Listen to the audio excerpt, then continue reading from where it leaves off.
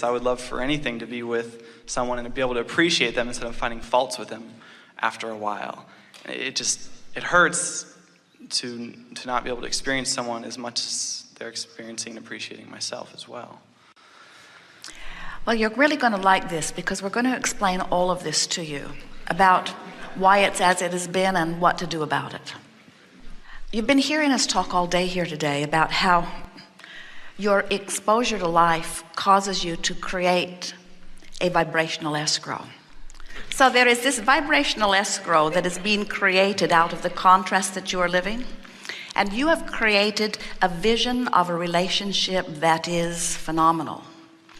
And when you allow yourself the opportunity to go with the flow, to that relationship. You will know it when you find it. And when you find the relationship that is a vibrational match to what's been waiting for you over there, not only will you know it as all the bells and whistles go off, as it sort of feels like in the infatuation that you're talking about, but it will be an enduring experience because the sensation of the relationship will continue to expand. In other words, once inside the relationship, you will continue to add to it. And as you go with the flow, you will continue to keep up with it.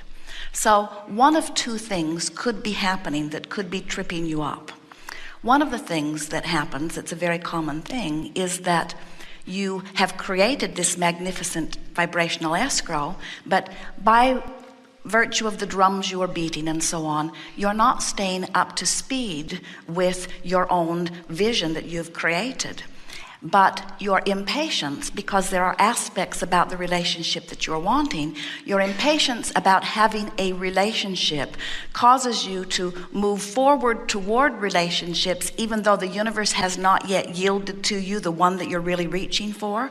And so it is always going to have great potential of eventually dissatisfying you because it isn't the one that you were ultimately on your way to. To ask any person, to be everything that you need is asking way too much. This is what we see as an ideal relationship. Someone who has a majority of things that I easily feel at ease with, things I like. Not someone who satisfies me on every single level because expansion is fun, but someone with whom I can easily be comfortable. Someone who, like me, understands that she is an expanding being, who is eager about life and eager about expanding and willing to keep up with who she is becoming. What happens in most relationships is you come together in that beginning, in that hopeful, connected state. In other words, you're looking for the positive aspects in each other, wanting to see what you want to see. And when you want to see what you want to see, you've closed your gap. So here's two people who have closed their gap, who are vibrationally in alignment with Source, coming together. And oh, does that ever feel good? And then, like most people, you then see something that you don't like as much, and you separate yourself from you. And then you hold the other responsible for the less good way you feel because you felt good till you saw that, and you hold them responsible for that thing you saw.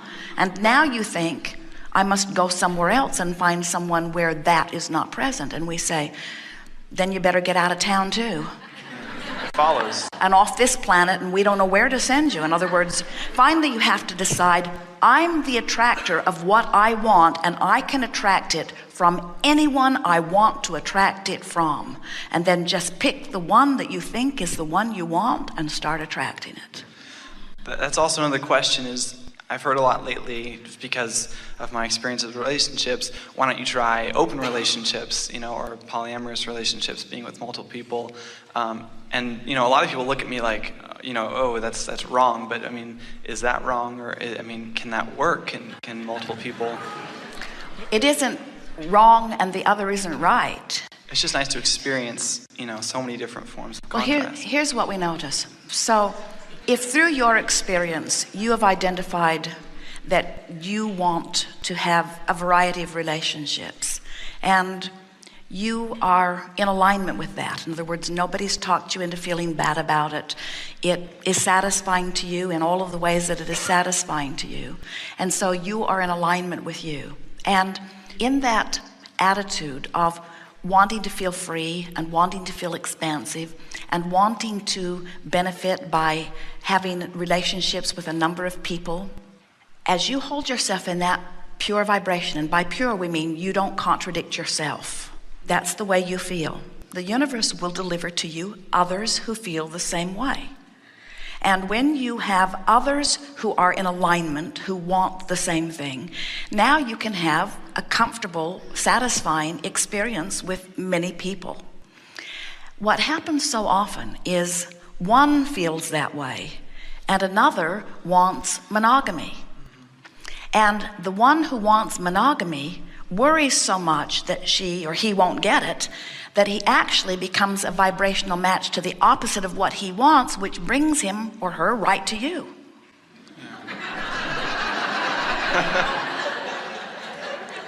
You follow that, don't you? In other words, you get what you think about whether you want it or not. Let's talk about women. The majority of women who attract to themselves men who do not want monogamy, the majority of women who attract such men are women who really do want monogamy, but they are crosswise in their own current and they keep getting exactly what they don't want because that's what they give most of their attention to.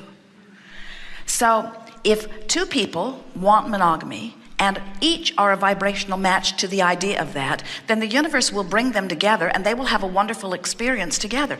If two people or more want open relationships and they are individually in alignment with the idea of an open relationship and they are offering a pure vibration about what they want, then the universe will bring them together and everyone lives happily ever after. The idea that everybody has to do the same thing, that comes from people feeling better when they see that condition and feeling worse when they see that condition, and therefore believing that if they could just control those conditions, they would feel better. And people or a society or a couple or a person, anyone who tries to control conditions in order to feel better always ends up feeling worse because you cannot control conditions. It is impossible. Seems like there's so much uh, possessiveness in relationships that people you know, regard their mate as their mate, and as soon as their mate tries to appreciate something else, which they're always going to, it, there's a huge problem. And that's what I'm finding is. But, but maybe, you see, at yeah. the basis of someone who is behaving that way with you yeah. is someone who is not in alignment with who they are. In other words, someone who feels jealous of the attention you give to someone else is depending upon your attention for their well being. In other words, when you're connected to source and you hold someone as your object of attention, they feel bathed in that. They love that. And then they say, You must always give me your undivided attention because you feed me. And then, if you have the audacity to have any other interest at all and you look away from them for a moment, then they feel like a puppet that somebody has let go of the strings. And then they pronounce to you, You don't make me feel like you once did. And what you want to say to them, or what would be accurate to say to them, is you're depending upon me for your life sustenance, and you should be looking to your own connection with Source for that. I'm just a co creator here. Don't hold me responsible for your connection to Source. But you know yourself, when somebody appreciates you, it feels good. And so there are a lot of people that are dependent upon that connection because when someone appreciates them, they feel good. But then they are really in a powerless position because now they must find a way to control you, to assure themselves that they can maintain your undivided attention. And when they find out they can't, then they are lost that's why we say what you're looking for is someone who's tuned in, tapped in, turned on. You're looking for someone who already gets it, that they feel good because they're in alignment and isn't holding you responsible for how they feel. Wouldn't you love to give that gift to someone else? Wouldn't you love to be one who says, You're not responsible for how I feel, I am? Wouldn't you love to get let off the hook and to let others off the hook by saying, I take responsibility for how I feel? So we said to a woman one day, she said, Will my son find a mate soon? And we said, Hopefully not. She was shocked. How can that be? She thought that finding this mate was the thing that would help him most of all. And we said, if he finds her now, she will be just as disconnected as he is. She won't have a job either. She'll be in financial turmoil also. She won't like herself either, and they'll just bang around and make each other miserable until they break apart again. And this mother said, Oh my, that's what's been happening. And we said, It's so much better to, in the meantime, before you actually manifest the relationship, to get in alignment with yourself. Because when you're in alignment with yourself, then you attract someone else who's also in alignment. If you've got a mixed bag going on, if sometimes you feel good and sometimes you don't, if sometimes you're going with the flow and sometimes you're going against the flow, then you're going to attract partners who are like that also, which means sometimes they'll feel good and sometimes they won't feel good. But if you have shown yourself that you can control the way you feel and you are deliberately moving with the flow and you are saying to those that you are interacting with things like, Excuse me, I'm not feeling very good right now, but I'm going to go off and think some thoughts that bring me back into alignment you will attract someone to you who understands their own autonomy. And when you come into a relationship with someone like that, now you've got a basis for a wonderful relationship because now you can both be expansive. You don't have to be joined at the hip. You can do your own thing. You'll root for each other. You will do your best to stay in alignment, but you won't hold another responsible when you're not in alignment. Oh, it is a best of all worlds. I like you pretty good. Let's see how it goes. Say that to all of them. On the day that you meet them, don't say, Oh, I hope this lasts forever. Say, oh, this feels good right now. And the reason that I think it feels so good is because I've got myself fixated on your positive aspects. And it's my plan to always focus upon your positive aspects because I always feel best when I'm focused upon your positive aspects. And I'm sure that you're like everybody else in the world. You've probably got some negative aspects, but don't tell me about them because I don't want to know about them. I don't even want to discover them. I'm going to keep looking for your positive aspects. And if I should stumble on one sort of accidentally and I find myself feeling a little tense about who we might be together, I'm going to do everything I can to withdraw my attention from whatever that is because nothing is important to me, dear person who may very well be the person I walk the rest of the world with. Dear person, this is the thing that matters most to me. I want to go with my flow. I want to go with my flow. And so what I'm saying to you, potential partner of mine, you might not want to spell it out quite this like this on the first day, but what you really want to mean as you're interacting with is I plan to go with my flow, and I don't hold you responsible for me going with my flow. But if you make it easy for me to go with my flow, then I'm more likely to go with my flow. So I'm not looking for somebody particularly troubling. I'm just not going to hold you responsible for going with my flow. And so now let's see how it goes. I'm going to keep going with my flow, and you keep going with your flow, and maybe we'll have a wonderful time together. And if we do, then we'll keep renewing it for another day, and another day, and another day, and another day and another day and another day. And maybe as we walk together, this life will keep inspiring more from each of us. And maybe our individual vibrational escrows will do a sort of combining thing where we're really better together than we are apart. Wouldn't that be delicious? And as that happens, and the universe calls us, and Source is calling me, and Source is calling you, and Source is calling me, and Source is calling you, and they're calling us to the same place won't we have another glorious rendezvous and another and another and another and another?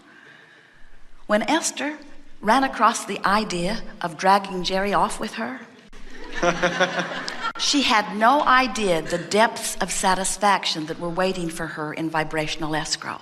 In other words, when she first made the decision that she wanted to go with him, took her some time to talk him into it. When she first made the decision that she wanted to go with him, she was looking very peripherally at who they would be together. But their life continues to expand. In other words, their relationship becomes more, not less, as time goes by. As each of them expands into something more, as each of them is out there living life, and each of them is contributing to vibrational escrow, and each of them are closing the gap on that vibrational escrow, it feels better to be together than anything else. And so they stay together, you see. Not out of commitment, out of desire, out of calling out of inspiration. So you could say to future girlfriends as you're meeting them. I hope I'm always inspired to love you.